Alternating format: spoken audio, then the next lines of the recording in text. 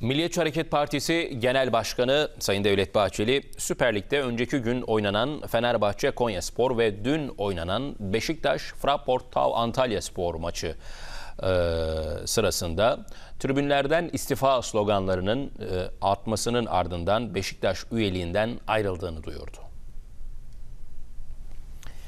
Konuya ilişkin açıklama Milliyetçi Hareket Partisi Genel Başkan Yardımcısı İsmail Özdemir'den geldi. Özdemir yaptığı yazılı açıklamasında Kahramanmaraş merkezli depremler sebebiyle 44 bin aşkın kişinin hayatını kaybettiğini hatırlattı. Özdemir, afet sonrası futbol maçlarını izleme bahanesiyle tribünleri tahrik eden bazı eylemler şehitlerimize ve milletimize büyük bir saygısızlık olmuştur ifadelerini kullandı.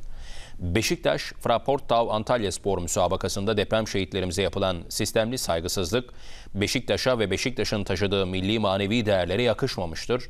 Sayın Genel Başkanımız Beşiktaş Kulübü üyeliğinden ayrılmıştır sözlerine yer verdi. Bahçeli'nin ayrılık kararının ardından MHP'li 5 isim daha Beşiktaş Kulübü üyeliğinden ayrıldıklarını duyurdu. Daha fazla video izlemek için kanalımıza abone olabilir, ilk izleyen olmak isterseniz bildirimleri açabilirsiniz.